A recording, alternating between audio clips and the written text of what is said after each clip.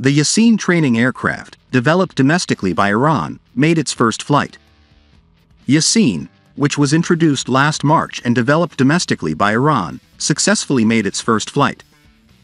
In the post made by Iran Defense, flight images of the aircraft in question were included. The final version of the Yasin training aircraft was introduced at a ceremony in March 2023. In this context, it was also stated that the production of the aircraft had started. The aircraft was designed as a training aircraft by experts from Iran Aviation Industries and the Islamic Republic of Iran Air Force. The new version of Yasin has different features compared to the first prototype introduced in October 2019.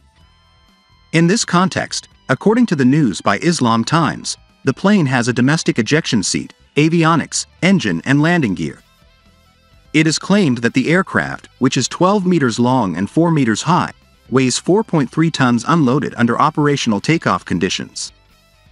According to the article published by Global Security, the tail structure eliminates the pilot's restrictions on various maneuvers. The cockpit is designed in a tandem and non-flat layout to provide a comfortable and wide field of view for the student pilot in the front cabin and the instructor pilot in the rear cabin.